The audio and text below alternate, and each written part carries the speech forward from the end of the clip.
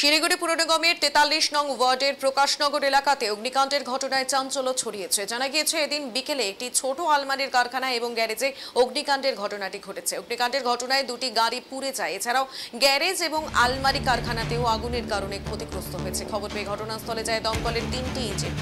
আগুন নিয়ন্ত্রণে আনে।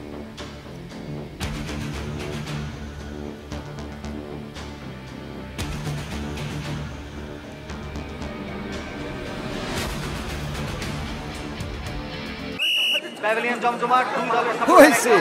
একটা গোল করতে পারে না দম নেই। চিংড়ি খাইলে জোশ আইব কেমনে? জোশ আসিল ইলিশে আচ্ছা আচ্ছা থাক থাক হয়েছে।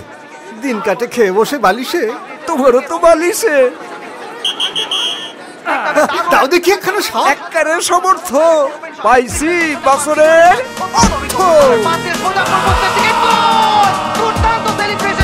বয়স যেভাবেই দিক না কেন ডাক নতুন করে বাঁচার অর্থ জীবন খুঁজে পাক আমরা গর্বিত সমস্ত প্রবীণ মানুষের জন্য যারা সফল অর্থোপেডিক চিকিৎসা ও জয়েন্ট রিপ্লেসমেন্ট সার্জারির মাধ্যমে ফিরে পেয়েছেন তাদের স্বাভাবিক জীবন Neotia Getwell health care centre সুস্থ জীবনের অর্থ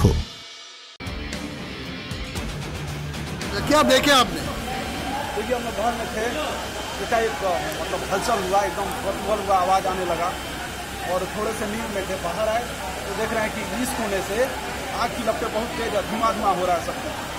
तो मेरी माँ चल फिर नहीं सकती उसको हम लोग ले गए दूर खटाल में और अपने बच्चों बहुत छोटे छोटे बच्चे उनको भी हम लोग ले गए खटाल में।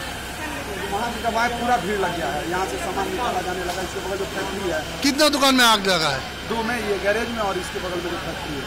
क्या क्या नुकसान हुआ? आपके आप क्या क्या देखे? स्पष्ट नहीं है। गाड़ी में भी आग लगा होगा फैक्ट्री में भी आग लगा